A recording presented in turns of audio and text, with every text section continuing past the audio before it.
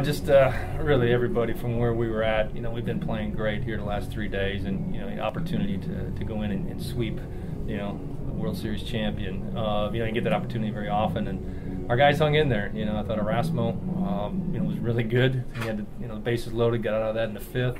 Uh, the bullpen guys that we had available today, we tried to mix and match put them in the right spots, and you know, they grinded through it. Uh, they really did, and. Um, you know, I got a welcome call from our closer. He said, if we got the lead, I'm in the game.